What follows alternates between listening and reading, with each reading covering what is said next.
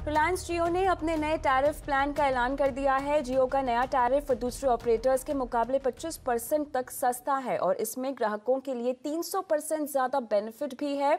नए प्लान के डिटेल्स बताने के लिए हमारे साथ संवाददाता असीम मनचंदा जुड़ गए हैं। तो असीम, ये बताएँ कि 300 परसेंट ज़्यादा बेनिफिट मिल रहा है जियो के नए प्लान में ग्राहकों को। क्या है इसकी हाईलाइट्स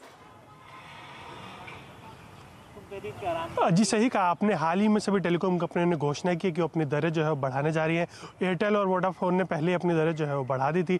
अब रिलायंस जियो ने भी अपनी दरें जो है बढ़ाई हैं। लेकिन रिलायंस जियो के थोड़े प्लान जो है दूसरे ऑपरेटर्स के मुकाबले पंद्रह से लेकर के पच्चीस तक जो है वो सस्ते हैं। और रिलायंस जियो ने कहा था कि हम all in new in one plan जो है वो लेकर के आएँगे, जिसमें कि उपभोक्ताओं को ज़्यादा फ़ायदा जो है मिलेगा, तीन तक का फ़ायदा मिलेगा। और उसी तरह के प्लान जो है उसने उतारे हैं। थोड़ी सी प्लान की डिटेल्स भी आपको मैं दे देता हूँ। अगर आप एक महीने का प्लान जो है वो लेना चाहते हैं तो आपको एक सौ निन्यानवे रुपये जो है उसके लिए चुकाने पड़ेंगे और इसमें आपको डेढ़ जी डाटा जो है रोज़ दिया जाएगा और हज़ार एफ़ मिनट जो है आपको मिलेंगे। यानी कि आप दूसरे नेटवर्क पर जो कॉल करेंगे तो आपको हज़ार मिनट जो है वो दिए जाएँगे।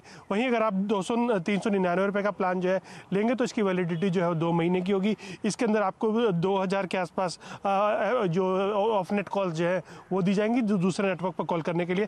तीन महीने का प्लान लेंगे तो ये पाँच सौ पचपन रुपये का होगा। इसमें तीन हज़ार ऑफ़ नेट कॉल जो है वो दी जाएँगी। और चौथ, अगर बारह महीने का प्लान लेंगे तो आपको ये इक्कीस सौ इक्कीस सौ उन्नीस रुपये का जो है वो पड़ेगा। तो इसमें आपको बारह हज़ार ऑफ़ नेट मिनट जो है वो दिए जाएँगे। तो कहीं ना कहीं ये प्लान अगर हम दूसरे ऑपरेटर्स के मुकाबले जो है कंपेयर करें तो ये ऑपरेटर्स, दूसरे ऑपरेटर के मुकाबले पच्चीस तक ये प्लान सस्ते हैं। तो उपभोक्ता के पास काफ़ी चॉइस है कि वो कौन से कंपनियों को चुने और जो हम, जो जिसको, उसको बेहतर सर्विस मिलेगी, उपभोक्ता को, उपभोक्ता जो है वही प्लान जो है वो चुनेगा।